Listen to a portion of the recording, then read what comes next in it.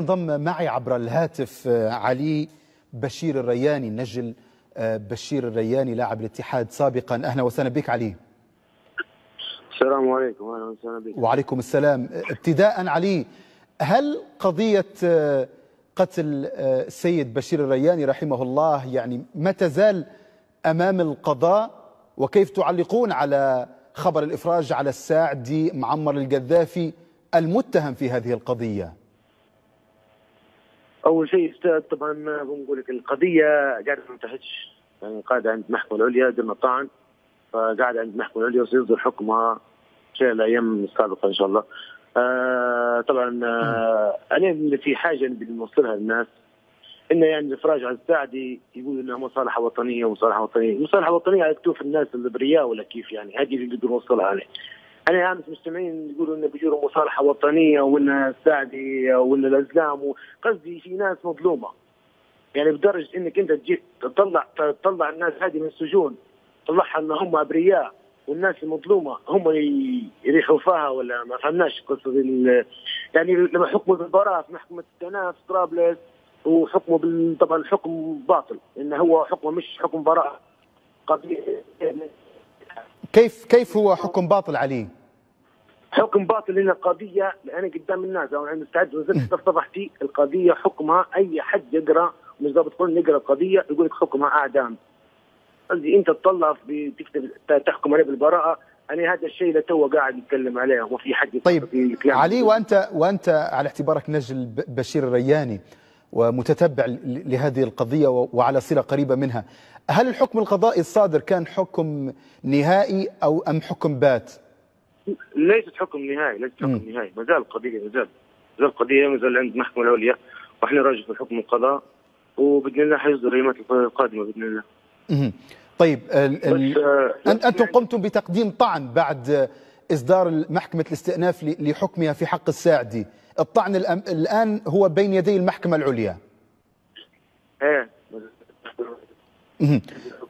وفق ال... وفق محاميكم علي أو المحامي الموكل من قبلكم في قضية والدك السيد بشير الرياني ما الذي أخبركم به؟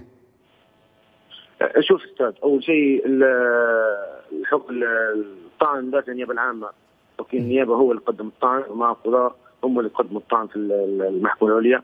وطبعا المحكمة العليا لها طبعا يعني هذا الشيء المفروض قضية زي هذه قضيه المفروض هذه حكم اصدار الحكم العليا الحكم القضية هذه لها ثلاث سنين. المفروض يعني تو انت حاكم مالي هذا مش شخص شخص. رئيس دولة يعني معروف.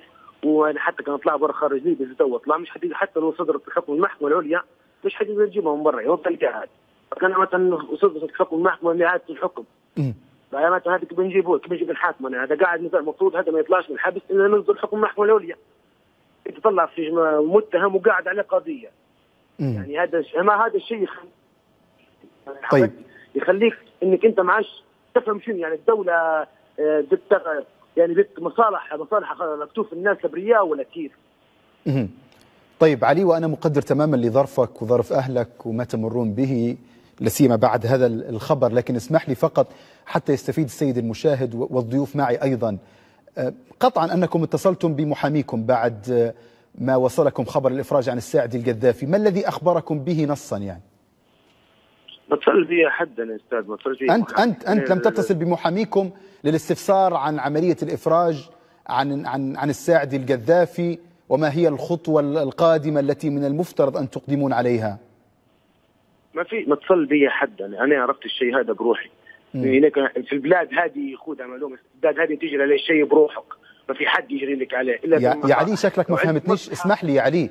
أنت أكيد موكل محامي.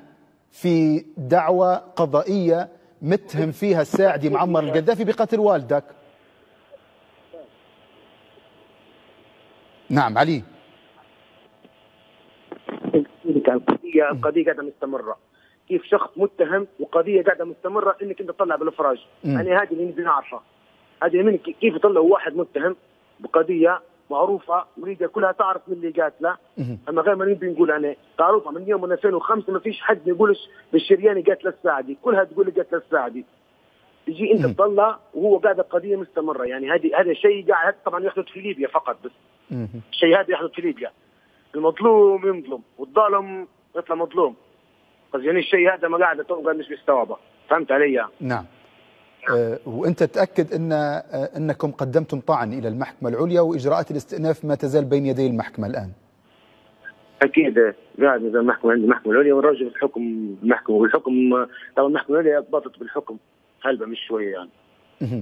المفروض طب- محكوم عليه والقضية أنا أرى أرى الناس عرفت إنه هو يعني شنو الحكم المحكمة العليا لأني عارف شنو حكم المحكمة العليا. أكد مليون في المية يعني عارف القضية حكم البراءه الحكم حكم ضعيف جدا. آه، والآن ال- ال- المحكمة العليا لم تقم بإصدار ال- الحكم النهائي بعد حتى اللحظة بالرغم من عملية الإفراج على الساعدي. آه ما زال ما زال حكم المحكمة العليا قاعد ما حكمتش بالحكم وقاعد إنه هو يعني هو خارج ليبيا تو حاليا والمحكمة العليا قاعدة ما حكمتش المحكمة القضاء القضية على القضية. يعني هذا الشيء اللي قاعد حاير يعني ما فهمتش القضاء كيف يعني يصدر الحكم. بعدين هو يطلع. إذا كان حكم الت- اي أي الحكم البراءة ولا تناقض الحكم انه عنده أكيد حيكون قاعد متهم. هذا هذا الشخص هذا قاعد متهم للتو ما دام في محكمة قاعد يكون متهم. هذا قاعد ما يطلعش من الحبس مفروض. لكن إنك أنت تطلع من الحبس وقاعد ما فيش القضية قاعد ما صدرش حكمه هذا يعني شيء غريب. أنا أنا أنا موجود في القانون ونقول هذا شيء غريب. يعني شنو الحكم أنا بروحي قاعد تو مش فاهم شيء يعني الموضوع هذا. أشكرك شكرا جزيلا علي بشير الرياني نجل اللاعب السابق لنادي الاتحاد بشير الرياني والذي آه، كانت قضيته أمام المحكمة آه، والمتهم فيها الساعدي معمر القذافي بقتل اللاعب بشير الرياني. شكرا جزيلا لك علي بالرغم مما تمرون به أنت وأسرتك شكرا لقبولك دعوة قناة ليبيا الأحرار والتداخل معها.